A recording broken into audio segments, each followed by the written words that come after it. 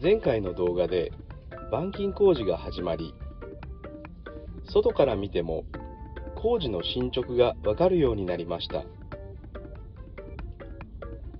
それと並行して今回は後輩の工事から始まります。今回の工事では後輩香料以外は新調していきます。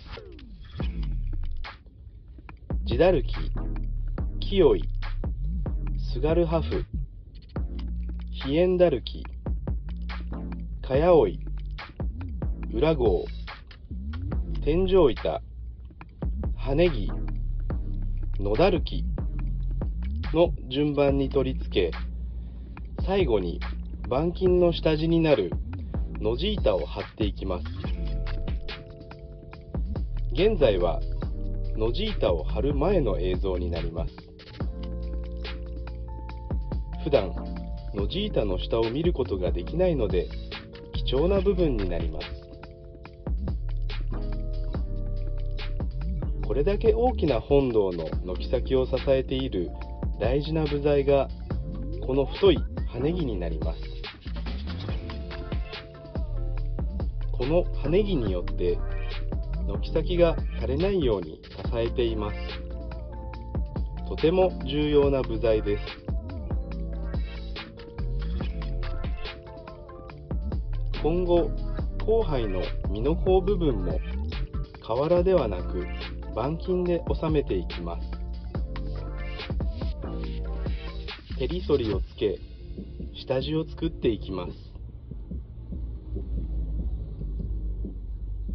その後このように下地を作っていき板金で収めていきます。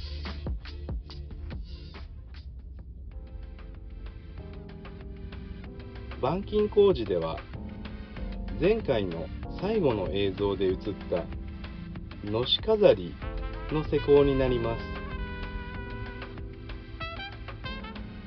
板金では胸の木下地に防水シート製品ののし飾りの順に施工を行います。のしの段数は本堂の大きさや鬼の大きさによって変わってきます。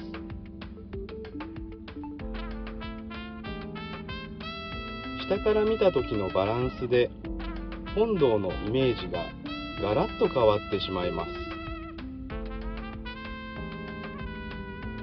さらに今回は以前のご本堂と同じようにイラカを再現していきます。